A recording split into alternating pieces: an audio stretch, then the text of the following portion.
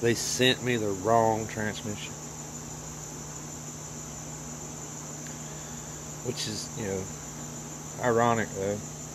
It's one of the reasons why I like Chevrolet. They, you know, parts interchange. Used to. But apparently I got another one of those rare things, I guess. Got one of them rare model Chevrolets that was a science experiment, I guess. This is transmission come out of my truck. See plug? This is the transmission they sent me. Which is plugs on the, the wrong side anyway. And it's totally different. And it's got the manual kick down. Mine's got the electronic kick down. And they only made a few of these trucks like that. And I happened to end up with one of them. But I'll try to get to your grass today. And do my little bunch of my little yards.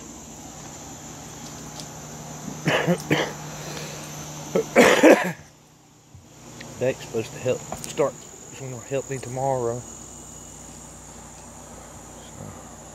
Oh, I'll knock out a few of my little yards today. And yours happened to be a little yard, so I hope it ain't up got up too bad, boss man.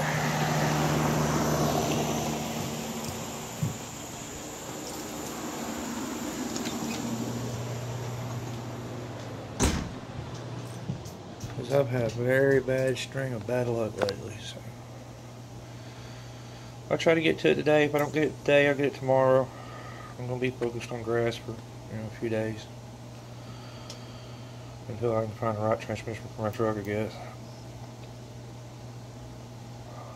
The transmission place that we got that one from, they can't get my transmission. They took my transmission off their website because they can't get it. So, figure out something, Ricky.